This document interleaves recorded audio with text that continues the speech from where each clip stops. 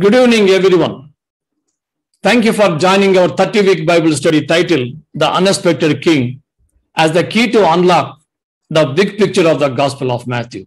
So, if you have your Bibles or BSF app on your devices, please turn to the Gospel of Matthew, chapter 9, verses from 4 to 7. Gospel of Matthew, chapter 9, verses 4 to 7. Knowing their thoughts, Jesus said, Why entertain evil thoughts in your hearts? Which is easier to say, Your sins are forgiven, or to say, Get up and walk? But I want you to know that the Son of Man has authority on earth to forgive sins. So he said to the paralyzed man, Get up, take your mat and go home. Then the man got up and went home. Let's pray together. Dear Heavenly Father, you are all powerful God. You heal, restore, and even overcome death. You are the author and the giver of life. Lord, this evening, as your word is opened up before us, we pray you continue to speak to us. We pray this in Jesus' magnificent name. Amen. Dear friends, April 7th was the World Health Day. And this year, the motto, building a fairer, healthier world. So, the names of the diseases which you see on the screen are only a very short list of the diseases that affect the mankind. In spite of man's best efforts, two of the greatest obstacles to human happiness and his flourishing are the twin problems of sickness and death. And so, what a good news it is to know. In today's passage, Jesus shows us his power over these two terrible results of the fall. So, for more results, for more details, let's move into our lesson. So, here is our outline Jesus' scope of authority, that is the first 17 verses. Second division, Jesus' purpose for authority from verses 18 to 34. Jesus' scope of authority, Jesus' purpose for authority. There are 10 miracles of Jesus recorded in chapter 8 and 9. Among them, we have already looked at the first five miracles. Today, we come to the last of these five miracles of power. Last week, we have seen in chapter 8, Jesus, along with the disciples, visited a Gentile region called Gadarenes and heals two demon possessed man. Now, in our present chapter, verse 1, Jesus stepped into a boat, crossed over, and came to his own town. After being asked by to, after being asked by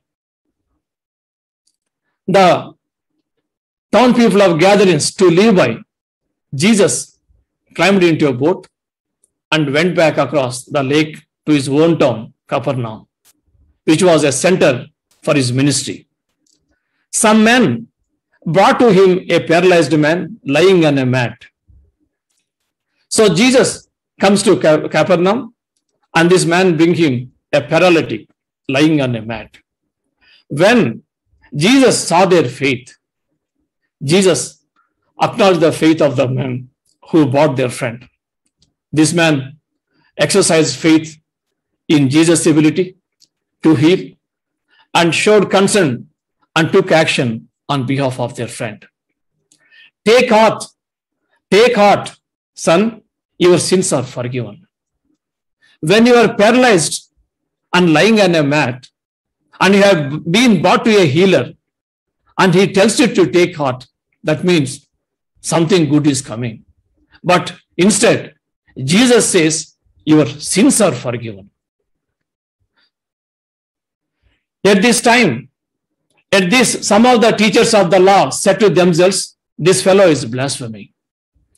When Jesus declared the man forgiven, the teachers of the law almost had a stroke. The teachers of the law consider this is as blasphemy because the Old Testament clearly teaches us that only God can forgive sin. And knowing their thoughts, Jesus said, Why do you entertain evil thoughts in your hearts? The teachers of the law accused Jesus of blasphemy. And Jesus accused them of having evil thoughts. So, who was right? If Jesus was not God, then the Pharisees were right. If Jesus is God, then Jesus was right. So, Jesus and the teachers of the law are at a standstill. Which are easier to say, your sins are forgiven, or to say, get up and walk? Notice that he does not ask them which is easier to do, rather, which is easier to say. Friends, it is easier to say your sins are forgiven because no one can tell whether it actually worked. It is an internal thing.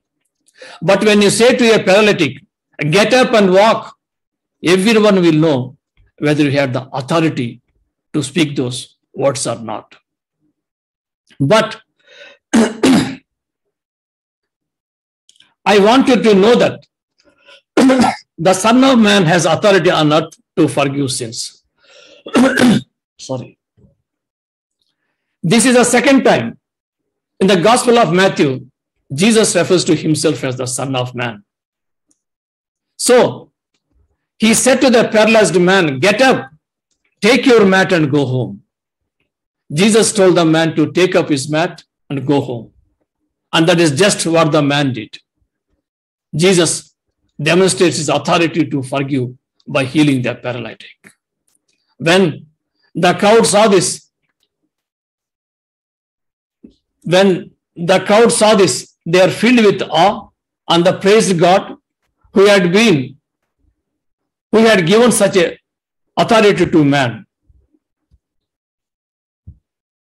When the crowd saw this, they were filled with awe. Note, this is in all, this is all in response to what they saw, but not the forgiving of his sins, because you cannot see the forgiveness of sins. So, what are you supposed to learn? Friends, since forgiveness is a more important need than healing, we should be filled with even greater awe and praise for Jesus' authority to forgive sin. Next, it was the trust of the friends of this man that led to his being brought to Christ. They believed and acted on that belief.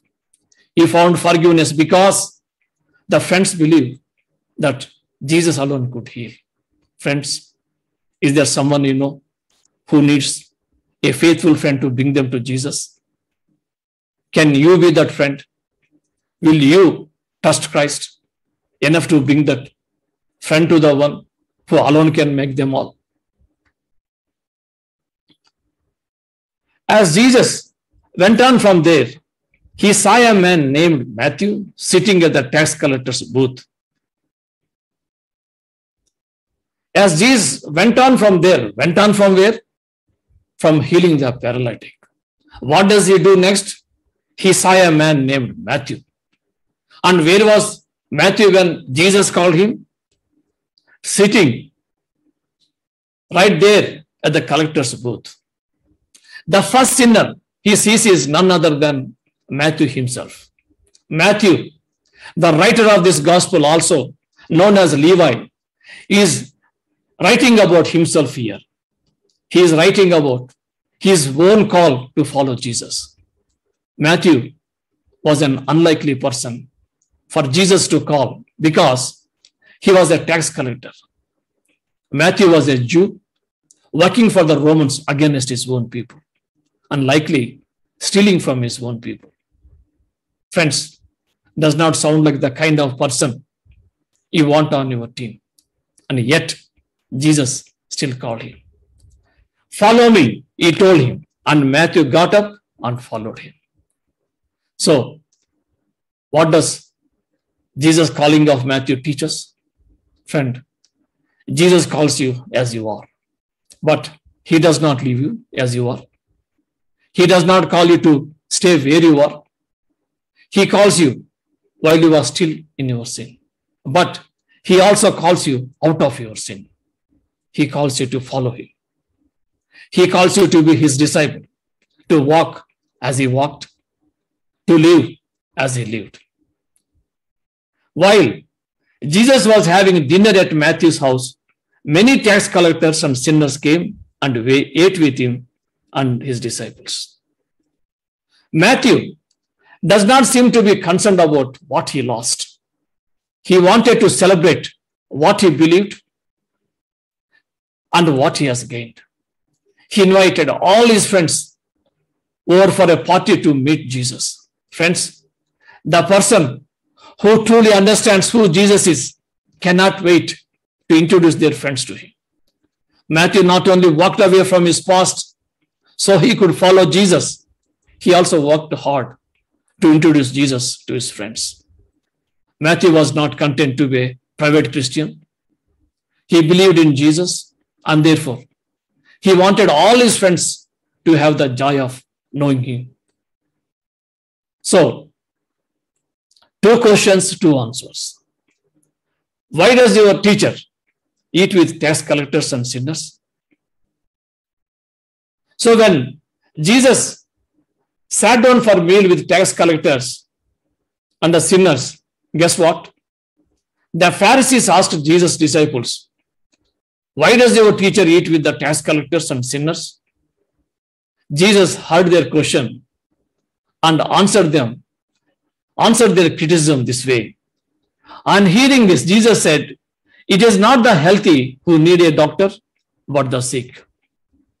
Jesus is there not to condemn, or condone, but rather to help and to heal. But the Pharisees did not get that. And so Jesus gives them the illustration of the doctor and the sick. Imagine you are a doctor. You have the choice of going down to team A, sorry, town A or town B. In town A, everyone is healthy. In town B, everyone is sick and in need of care. And where do you go? Obviously, town B. Makes sense? Doesn't it?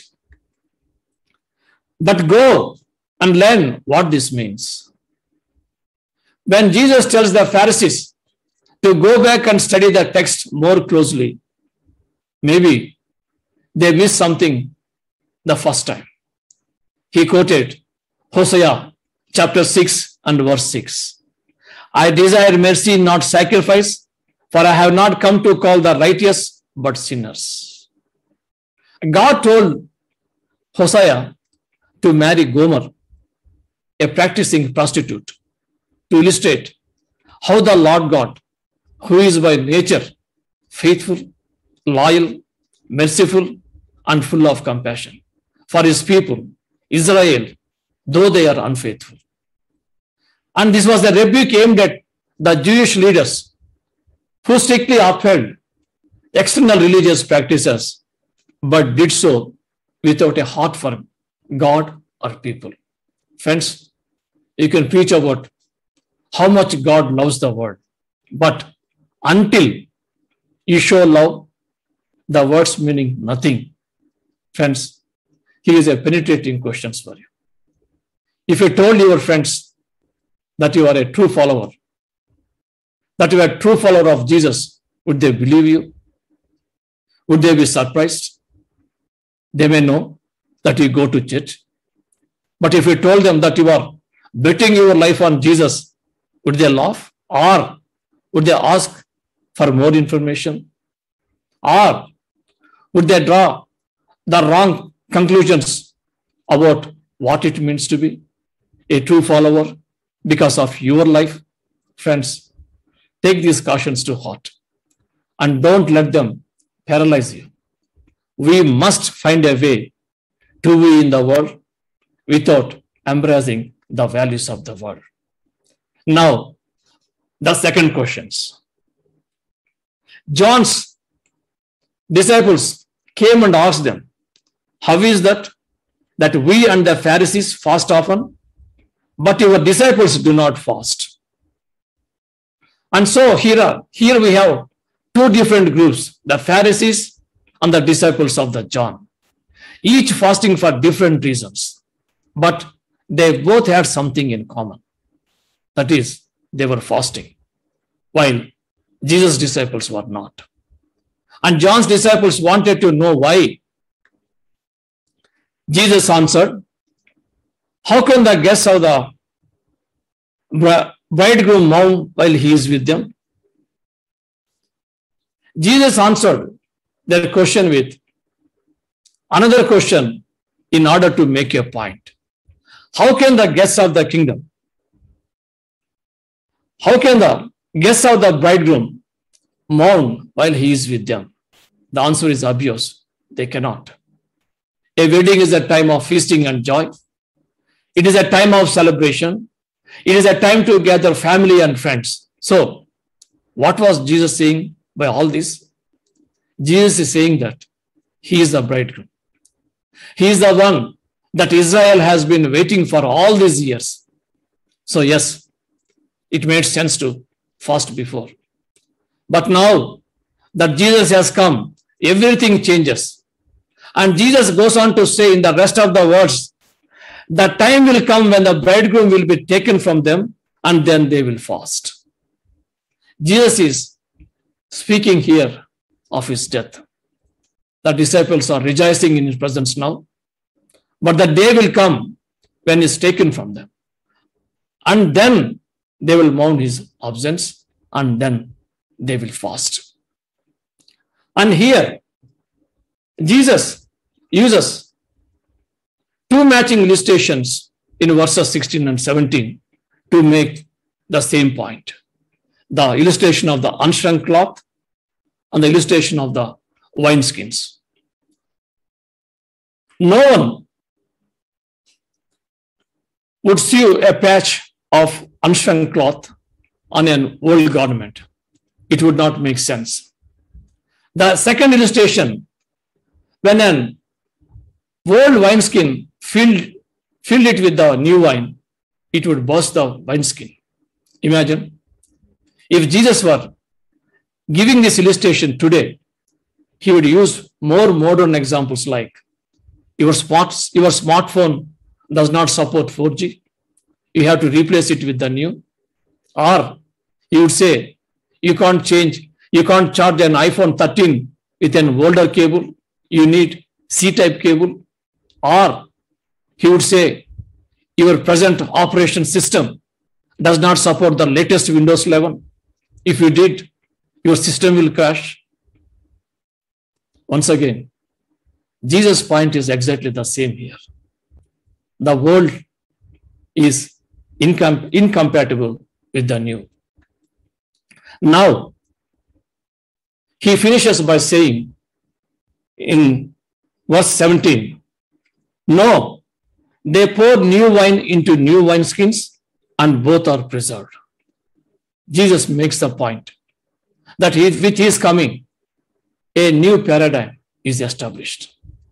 The gospel does not fit in with the sacrificial system of old. The one true sacrifice has been made. The people of God are no longer confined to one nation or to a physical locality. It is no longer needs a curtain separating man from God. We have now gained access. It is no longer about trying to live better lives in the hope of gaining God's favor. No, it is about entering into the grace of our Lord Jesus Christ. God is gracious by nature. Grace is God's favor that He freely extends to the undeserved. Grace cannot be earned, or it would not be a grace. Human effort does not contribute in any way to the benefits God gives to people. Everything that God allows in our life exhibits His grace. So here is our first principle. Jesus' authority uncovers our desperate need for new life. Jesus' authority uncovers our desperate need for new life.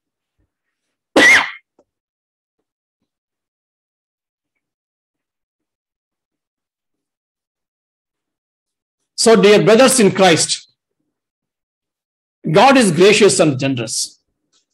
He will not reject you because of your sin. Through Christ, you have been set free by the grace that makes you new. And that kind of attitude has the power to change the world. So, dear friend, what changes do you need to make in your life? What things in your life are incompatible with Christ? Are you resisting Christ and resisting the changes He is trying to bring in your life? Remember, resisting Christ is like that patch of unshrunk growth, tearing at the patterns of the your world life. Your life needs to change. And trying to rest in Christ in your in your life is like the old wineskins bursting from the fullness of the new wine. But Jesus not only wants to free you from your world ways, he also wants to lead you into new ways of living. Friend, you need to let God expand your life to fit the new patterns of life. He wants to grow in us. In other words, it is time to leave the world behind because when Jesus comes, everything changes. Friend, will you let Christ change you today? Let's move into our second division. Jesus' purposes for authority. While he was saying this, a synagogue leader came and knelt before him and said, My daughter has just died, but come and put your hand on her and she will live. Yes, for the information given by Gospel of Mark, the synagogue leader name was Jairus.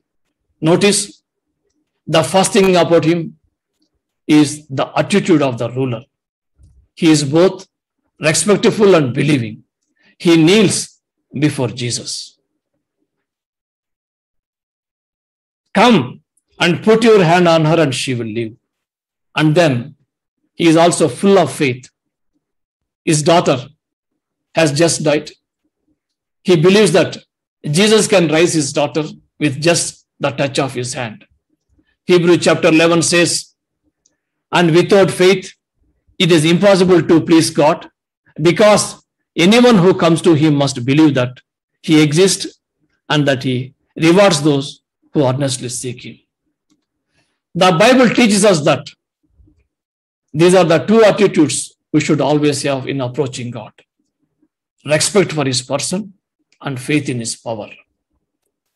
Verse 19 Jesus got up and went with him, and so did his disciples. So, what is what is Jesus' response to the ruler's request? Jesus agreed. It did not matter who he was. He was a person in need. That was the only thing that mattered to Jesus. Friend, you may have resisted the Lord all your life. But if you sincerely turn to Jesus, He will not turn the past against you. He is willing to help you as well. Just then, a woman who had been subject to bleeding for 12 years came up, came up behind him and touched the edge of his cloth. Now, before we find out what happens with the ruler's daughter, a second miracle that took place on the way to the ruler's house. This woman had spent all her money going to doctors, but she was not getting any better. This woman must have been very frustrated and tired.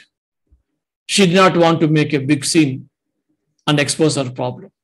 So she decided that if she merely touched Jesus, she could be healed. Of course, that is exactly what happened.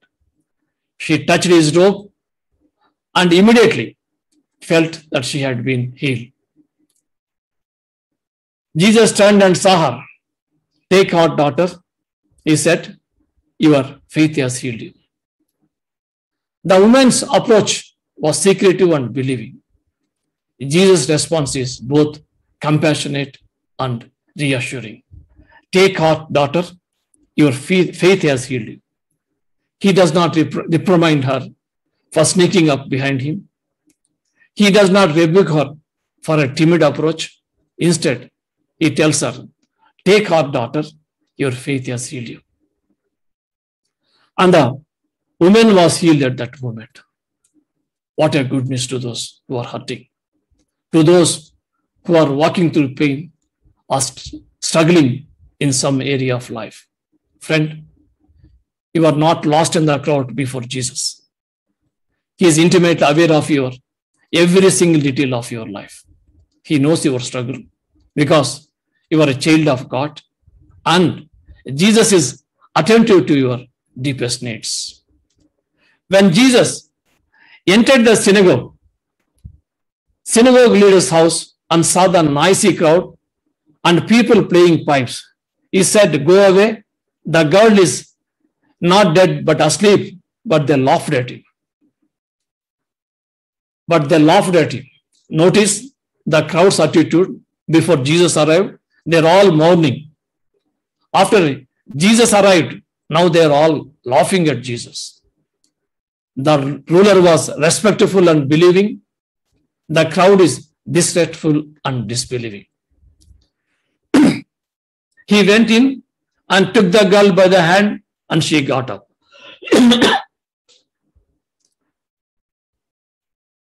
Jesus did exactly what the ruler asked him to do. Come and put your hand on her and she will live. And exactly what the ruler believed he could do. Jesus went in, took the girl, took the girl by hand, and she got up. The end results, the news of this spread through all that region. News of this spread through all that region. People went everywhere talking about Jesus' power over sick and death. Jesus' power over sicknesses and death. Friends, today we have seen two beautiful examples of faith. When the sick woman and the ruler were helpless and hopeless. Jesus was the answer. The woman came to Jesus, and Jesus brought healing and peace. The ruler put his trust in Jesus, and Jesus brought life. Where there was once was a death. Remember, in the kingdom of God, suffering ends, hearts are mended, and new life takes the place of death. Friend, do you have faith as this two did? Do you trust that Jesus' way is always the right way? When you are faced with a very difficult problem, will you bring it to Jesus? And will you walk with Jesus wherever He asks you to go? Do you trust that God's timing is perfect? Sometimes He always He allows delays so that you can learn more about Him. Then He will receive more glory and your faith will grow stronger. Power over darkness. So far, we have looked at eight of these 10 miracles, and now we come to the last two miracles the healing of the two blind men and the healing of the demon possessed man. There are no miracles recorded in the Old Testament of the blind receiving sight. In Isaiah chapter 29, verse 18, in that day, the deaf will hear, words read from a book, and the blind will see through the gloom and darkness. The miracle of giving sight to the blind and giving speech to the silent were signs of that come with the Messiah. And so, this was a very powerful indicator that the kingdom of God has indeed come with Christ. Notice in verses 27 through 30, five things about this miracle. First of all, Son of David, have mercy on us. Notice that the two blind men following Jesus called him Son of David. And this term, Son of David, was a title for the Messiah. And the very first verse in Gospel of Matthew he also called Jesus the Son of God. Secondly, notice this is not a pub- public miracle. When he had gone indoors, the blind man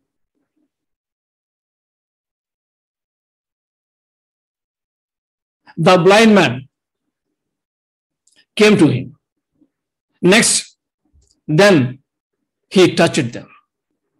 So, notice Jesus' physical touch. Jesus touched their eyes before he healed them.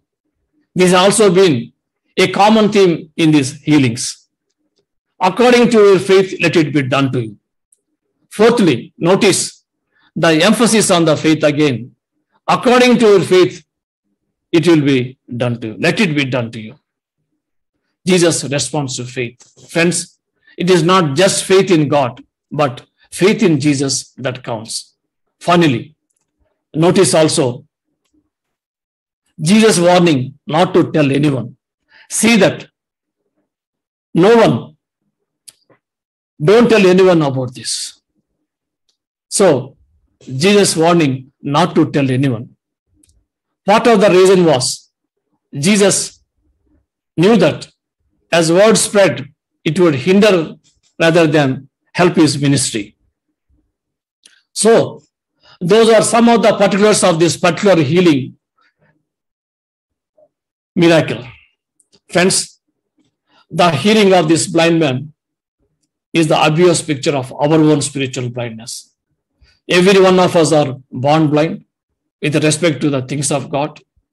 By nature, we cannot see the spiritual realm of God. There are scales on our eyes, so we do not see it. It is not because there is something wrong with, with our optical nerves. It is because there is something wrong with our souls.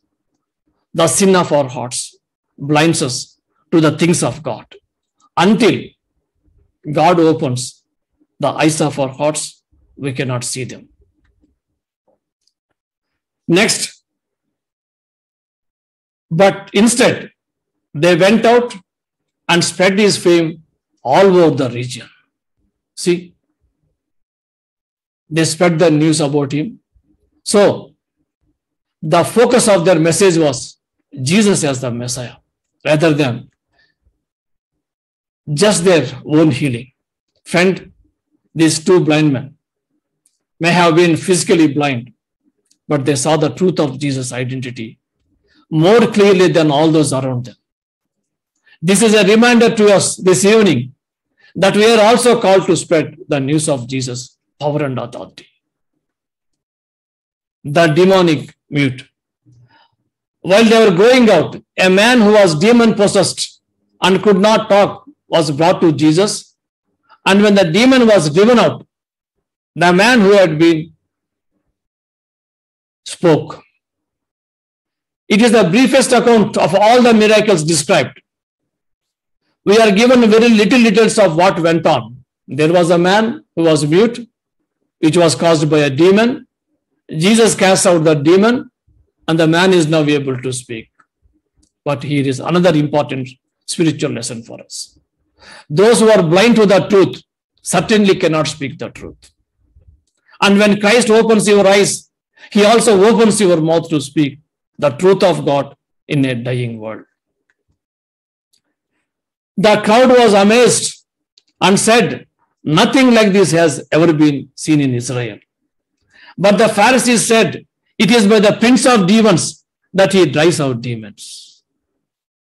This passage ends this account by giving us two different reactions to Jesus' miracles the crowd's reaction, the Pharisees' reaction. The crowd's reaction was one of amazement. The Pharisees' reaction was one of rejection and unbelief. Friends, how will you respond to Jesus' miracles and power? It is popular today to sit to sit on the fence and be non-committal. The world wants us to be accepting of all opinions. Jesus wants us to understand something. If you are not with him completely, then you are against him. You cannot sit on the fence when it comes to Jesus. You cannot say you want to wait longer before you make a decision. Otherwise, remember, you are in a dangerous position. You are not with the Messiah. You are not with the King. You are still spending time with the strong man who has already been overcome and substituted by Jesus. Friends, you are choosing the losing side. Jesus has the power over darkness. Jesus has power over spiritual darkness. Jesus has power over darkness in your life too. So, he is our final principle. Jesus, gracious authority, powerfully restores, brings new life for his people. Jesus, gracious authority, powerfully restores and brings new life for his glory.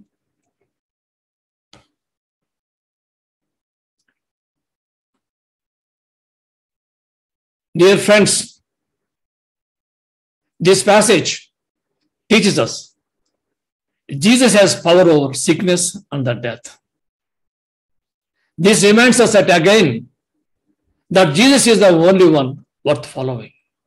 Friend, if you are going to surrender your life to someone, certainly you should follow the man who can raise the dead. Jesus alone is worthy to be followed as Lord and trusted as Savior. He has power over spiritual darkness. He has power over darkness in your life too. So, how will you respond to Jesus? Will you be amazed at his power and seek his power over the darkness in your own life? Or will you double down on the devil's deception and continue to prefer the darkness of life? Let's pray. Lord, you give life to the broken and hope to the desperate. Thank you, Lord, for your amazing grace, which we did not earn and do not deserve. This evening, I pray for anyone in this place who do not know as their Savior. Lord, through the study of the Matthew, the unexpected King, may they respond to you. Generous offer of life and hope. Lord, move us to hear your call and lead us into the fullness of life. In Jesus' precious name, I pray. Amen.